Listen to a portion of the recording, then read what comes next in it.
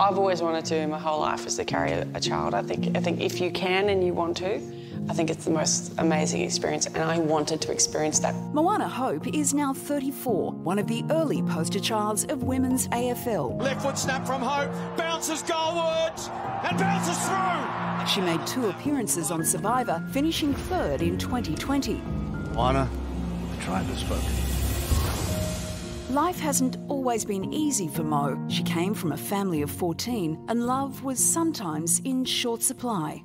Because there were so many kids in our family, I was really, I didn't really get that one-on-one love or that love that I wish I had got, you know, like the embracing, the kissing, you know, mum was always working night, uh, night shift, dad was out at night as well. For my kids, I want to just give them more, all the love in the world. Moana's wife, Isabella Carlstrom, carried their daughter, Svea. This time it was Mo's turn. And on the 24th of June, they welcomed their son, Ahi. I've done a lot of apologies to Bella over the past month. When Bella was going through um, pregnancy, she was still getting uh, morning sickness at 14 weeks, and I did I did something really bad. I turned around to her and I said to her, "You got to be kidding! It's supposed to end at 12 weeks. It's just nausea. You'll be fine. We've got to get on with it."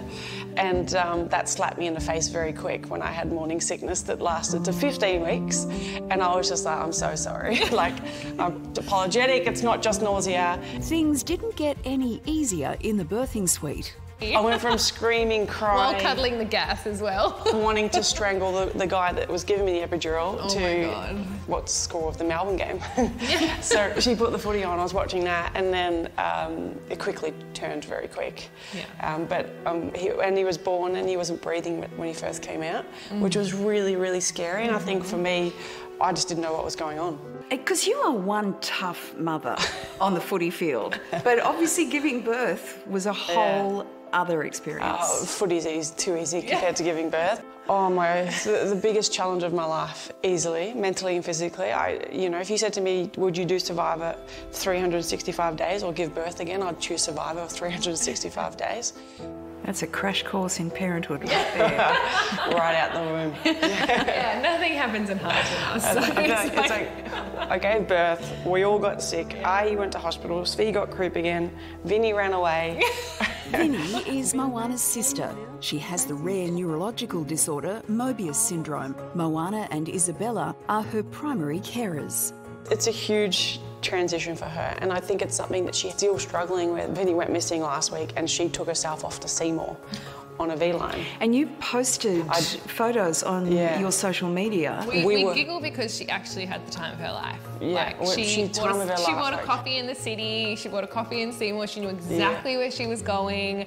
Well, you yeah. guys must have oh been oh terrified we when terrified. you realised she was gone. Vinny is back home safe and sound, and as they settle into their new routine, Mo is already looking towards her next challenge. You kept saying, I cannot wait to get back on that field and play again. In fact, I think your words words were, I can't wait to get out there and do some real damage. Yeah, I, I, honestly, I still have that urge to do that because I feel like when I played AFLW a couple of years ago, I didn't do anything near to what I'm capable of, and I, I was struggling a lot mentally when I was playing AFLW. Like I was, I was in a really bad place. Like I was leaving training almost every night in tears. What was what was that about? Do you know? Um, I, uh, the very well, it's it's a boys club, it's, it's and they're trying yeah. to. So many of the girls are so grateful to even be playing AFLW that they don't feel like they can stand up and say how they feel or take what they deserve because mm. they're afraid of losing that jersey. and especially the yeah. first ones that were in it were even more so under that pressure.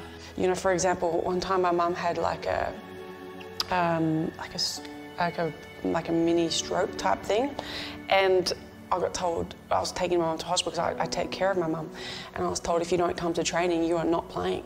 On top of that was the off-field abuse she received for simply playing the game she loved. And you're in a shopping centre and people are abusing you, and, and they're swearing at you or they're yelling things you. You're getting messages on social media being told to get back in the kitchen where you belong. Um, you know, you're getting death threats. I got death threats. Vinny got death threats. We, have had the police involved many a times, and, I, and like I kind of sat down and was like, is this worth it? You know, I'm working full time. I'm taking care of Vinny. I'm trying to, you know, create a, a life with with with.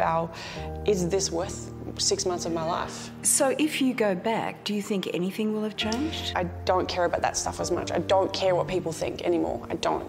I would love to play footy again. That's what my goal is to run through a banner with my kids and, you know, actually play footy the way I wanted to play footy, not for anyone else. I just think that she has become who she always wanted to be, and I I think that becoming a, like birthing a child has helped her shed a lot of skin and baggage. I feel very lucky. Like, if you said to me, go back to 12 year old me, where do you yourself, see yourself in 15 years? I would never say I'd be here, married to this beautiful woman. Um, and have a family and, and, a, and a, home and, and a, an amazing job, I, I honestly would not. I'd, I'd probably think it was April Fool's. Beautiful interview. Yeah, they're a beautiful family. And, and Moana, she, of course, was an incredible footballer and still is. And I reckon she will get back on that field. But I think she'll have some standards that she will want set for women. I mean, what an irony that the AFLW is apparently a boys' club. I mean, that's got to be fixed yeah. and fixed real fast. Oh, but, if anyone um, can do it, it's her. I fell in love with her watching her on Survivor, and just her inner strength and resolve is so inspiring. And watching her step into this role as a mother with her wife, and uh, it's just absolutely beautiful. Yeah. I'm thrilled to see that. Yeah, and we really thank them for allowing us into their home. Thanks, guys.